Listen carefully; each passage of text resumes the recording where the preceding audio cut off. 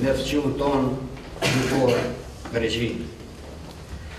Rrethanat globale dhe rajonale, situata në Ukrainë dhe në Lindje të Mesme, po vështërësojnë procesin e zgjidhjes ngaqë fokusi i miqve ndërkombëtarë është në këto vatra të krizës. Për këtë ne angazhohemi për çdo ditë që ta zhbllokojmë këtë proces bashkë me partnerin tonë të koalicionit dhe me komunitetin ndërkombëtar.